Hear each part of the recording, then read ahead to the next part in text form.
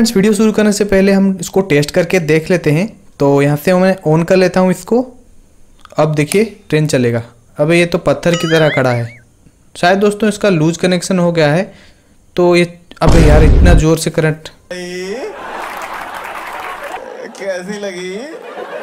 आगे यार यहाँ पर मैंने 220 वोल्ट देकर उसको टच कर लिया। तो टेस्टर से देखिए दोस्तों इसमें बहुत हाई वोल्टेज है मतलब 220 वोल्ट है। ये जानलेवा भी हो सकता है। तो आप ये गलती मत कीजिएगा। मैं तो अभी पापड़ बनते बनते बचा हूँ। तो मेरा थोड़ा सा मतलब लग था तो इसीलिए मैं अच्छा से ये जो है बच गया इससे। नहीं तो अभी कुछ भी हो सकता था। तो फ्रेंड्स, अभी मैं उसको चलाकर फिर से आपको दिखाऊँगा। तो ऑन करते हैं फिर से। तो अभी ये चलेगा बिल्कुल। तो कोई दिक्कत की नहीं है, दिक्कत की बात नहीं है दोस्तों। यहाँ पर अभी ऑन कर लेते हैं इसको हमें। तो ऑन कर लेते हैं दोस्तों। तो वन टू थ्री ये अभी भी नहीं चला यार। क्या दिक्कत है? मैं समझ भी नहीं पा रहा हूँ। यार, ये तो वायर ही अलग हो गया है।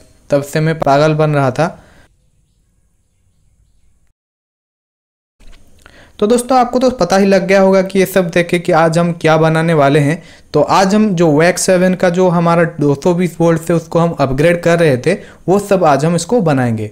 तो हमने पिछले वीडियो में जो कि 1000 साल पहले आया था, उस वीडियो में हमने उसको पेंट किया था। तो ये काफ़ी मतलब पहले बनाया था, इस जो लोकोमोटिव था। तो उसका जो मेजर कंपोनेंट हम यहाँ पर इस्तेमाल करने वाले हैं यहाँ पर उसका 9 वोल्ट एक एम्पियर का ट्रांसफार्मर जिन लोगों को इलेक्ट्रिकल के बारे में ज़्यादा पता नहीं है मैं उसको मैं उनको बता देता हूँ कि ये जो है आ, मतलब वोल्टेज को स्टेप डाउन करने के लिए इस्तेमाल करते हैं। ये वाला जो मोटा वाला वायर है उसका प्राइमरी वाइंडिंग है और दूसरी तरफ़ जो पतला वाला वायर है उसका सेकेंडरी वाइंडिंग है।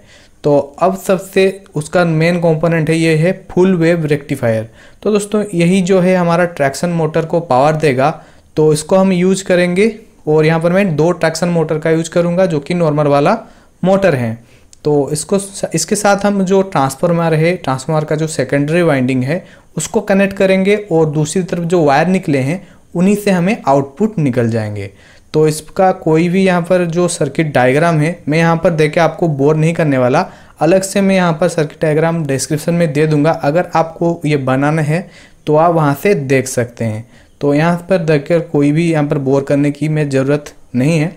आप वहाँ पर जाकर देख कर इसको बना सकते हैं। आज सिर्फ़ इस वीडियो में टेस्टिंग करूँगा और थोड़ा बहुत आपको जानकारी दूँगा। क्योंकि बहुत दिन हो गए हैं मैं वीडियो नहीं ला पा रहा था। क्या कर रहा था? दूसरे चैनल पर व्यस्त था। तो इसीलिए यहाँ पर कुछ भी नहीं हो पा रहा था। आपको सुनकर हँसी आ रही होगी कि बहुत बिज़ी था मैं दूसरे चैनल पर। तो ये रहा हमारा ट्रांसफार्मर जो कि लोको के बॉडी के अंदर सेट हो गया है। तो इसी प्रकार से बीच में हमें ट्रांसफार्मर को लगाना होगा, जो कि रियल वाले लोकोमोटिव में भी होता है। थोड़ा सा नीचे की तरफ़ होता है। अब यहाँ पर हमारा जो कन्वर्टर है मतलब ब्रिज रेक्टिफायर है, वो रेक्टिफायर को इस साइड में रखेंगे। और यहाँ पर मैंने एक एलईडी भी लगाया है जिससे कि ये ग्लो करेगा, जब ये वर्क करेगा। तो इसमें थोड़ा सा और प्रोटेक्शन की भी ज़रूरत होगी। तो यहाँ पर हम फ्यूज का भी इस्तेमाल करेंगे, क्योंकि हमें इसमें ओ के मदद से इसमें लाइन देने वाले हैं। अगर कहीं भी लोगों का बॉडी अगर चार्ज हो जाए तो यहाँ पर फ्यूज जो है मदद करेगा उसको सही करने में। तो जैसे कि मैंने बोला कि उसके साथ हम ट्रांसफार्मर का सेकेंडरी वायर को कनेक्ट करेंगे तो इस प्रकार से हम कनेक्ट करेंगे। तो ये देखिए दोस्तों, यहाँ पर मैंने पीवीसी का जो बोगी है, वो यूज़ किया है। तो ये थोड़ा सा अलग टाइप का बोगी है। अब दोस्तों, यहाँ पर सारा कनेक्शन हो चुके हैं। आपको अगर उसका ब्लॉक डायग्राम या फिर पूरा डिटेल में डायग्राम चाहिए तो मुझे बोलिए मैं डिस्क्रिप्शन में उसका लिंक जो है आपको दे दूँगा। और ये जो मोटा वाला वायर है, ये फ़ेज़ में जाएगा, जो कि पेंटोग्राफ के साथ कनेक्ट होगा और नीचे वाला जाएगा ग्राउंड में। तो ये वीडियो आप देख सकते हैं कैसे हम ट्रैक से लाइन ले सकते हैं मतलब नेगेटिव लाइन जिससे कि ये काम करता है। तो यहाँ पर मैंने एक कंट्रोल यूनिट भी लगाया है, जिसमें डी स्विच और यहाँ पर एक पोटेंशियोमीटर लगा हुआ है, जिससे कि हम स्पीड को कंट्रोल कर सकते हैं। तो हमारा वायरिंग कंप्लीट है। अब हम पेंटोग्राफ को कनेक्ट करेंगे उस मोटे वाले फ़ेज़ लाइन से, जो कि हमारा ओ से लोकोमोटिव के अंदर पावर को लेगा और ट्रैक्शन मोटर में वो जाएँगे। तो ये सब बनाने के बाद दोस्तों अब हम टेस्ट करेंगे उसको।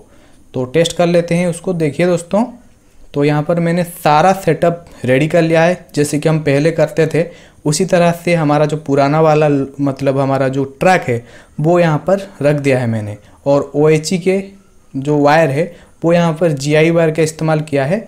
और यहाँ पर 220 वोल्ट डायरेक्ट यहाँ पर वो नीचे के लाइन में जो न्यूट्रल है और ऊपर में फ़ेज़ मैंने दे दिया है। तो इस वायर के मदद से यहाँ पर कनेक्ट होगा सब और यहाँ पर मैं आपको वोल्टेज भी चेक करके दिखा दूँगा मतलब टेस्टर से। जैसे कि मैंने पहले बोला था तो कि जैसे कि मैं यहाँ पर यूज़ करेंगे उसको तो यहाँ पर ऑन करके मैं आपको टेस्टर की मदद से दिखा दूँगा। तो यहीं से ऑन करने से हमारा जो लोकोमोटिव है वो वर्क करेगा। अगर आप उसको दूसरे डायरेक्शन या फिर पीछे में मतलब रिवर्स फॉरवर्ड में चलाएँगे तो यहाँ पर लोगों के अंदर एक डीपीडीटी स्विच लगा है, जहाँ से उसको हम डायरेक्शन चेंज करवा सकते हैं। तो आपको शायद से पता लग गया होगा।